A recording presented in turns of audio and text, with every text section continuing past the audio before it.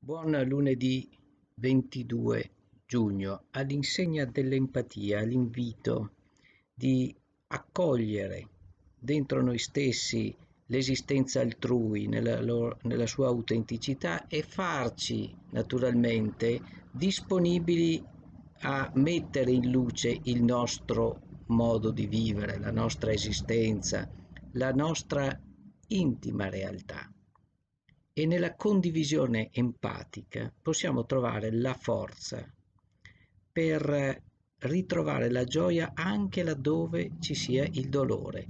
L'empatia non è un istinto, è qualcosa che va coltivato, che è necessario imparare giorno dopo giorno attraverso la disponibilità reciproca e questo è possibile soltanto se ci lasciamo andare alla dimensione dell'amore che ci orienta e ci guida nel percorso della vita. Buona giornata a tutti.